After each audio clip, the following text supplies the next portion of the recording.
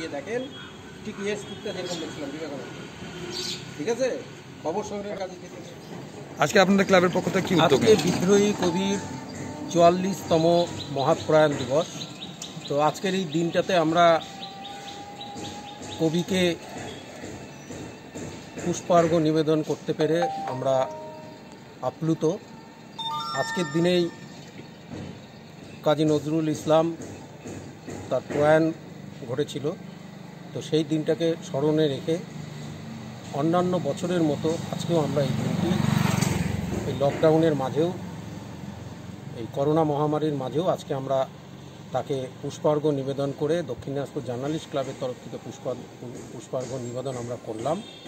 আমরা সকাল থেকেই দেখছি যে এই জায়গাটাতে সেরকম অন্যান্য বছর যেরকম এখানে পুষ্পার্ঘ্য নিবেদনের বা শ্রদ্ধা জানাতে একটা ভিড় বা আনাগোনা থাকে। আজকে সেটা ছিল না। লকডাউনের কারণেই অনেকের পক্ষে সেটা সম্ভব হয়নি কিন্তু আমরা সেটাকে এড়িয়ে যেতে পারিনি। কারণ আমাদেরও একটা দায়বদ্ধতা রয়েছে যে মহাপুরুষদেরকে সম্মান জানানো সেই দিকটা খেয়াল রেখে আজকে আমরা এই কাজটা করি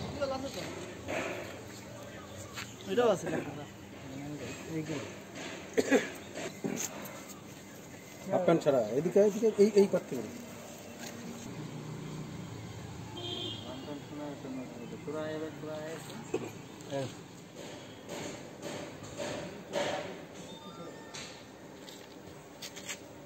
And look at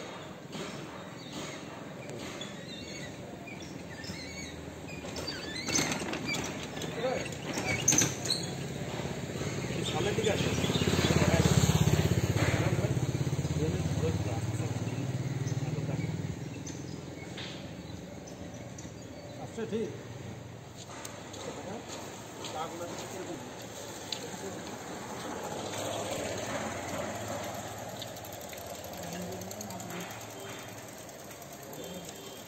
আগে দিয়ে দিচ্ছিস হ্যাঁ বলেছিল কিছু।